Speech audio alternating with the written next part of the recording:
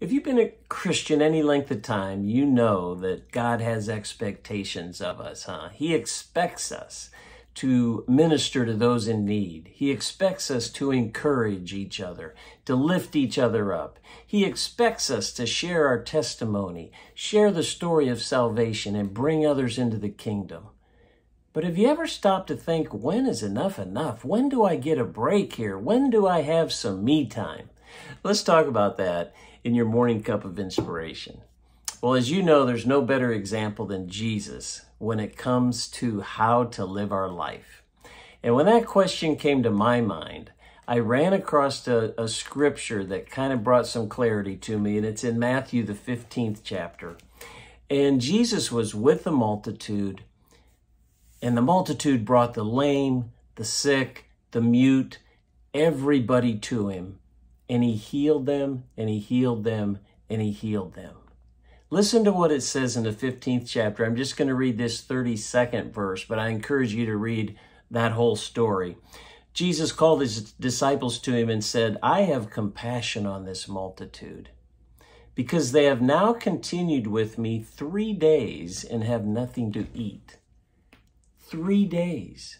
Jesus was with the multitude. He didn't have a line, a healing line that he got, when he got tired, he cut it off and said, Sorry, I can't heal anymore, did he? He was a man of compassion. So that crowd that was there, he stayed with them three days, healing, ministering, giving out to them what he had. And I just believe that's what we need to be doing with our lives.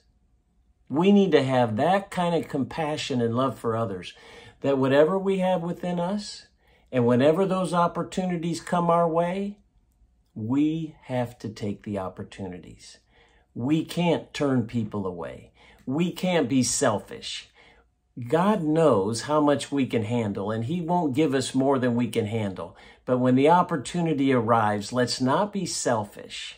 Let's reach out and encourage and touch as many people as we can, just like Jesus did.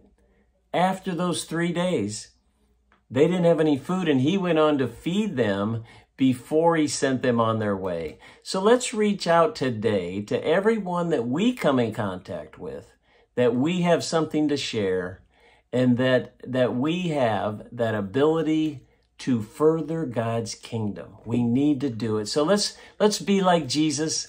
Let's not quit. Let's always be looking for the next person to minister to. Hey, God bless. Thanks for joining me for that morning cup of inspiration, and we'll see you next time.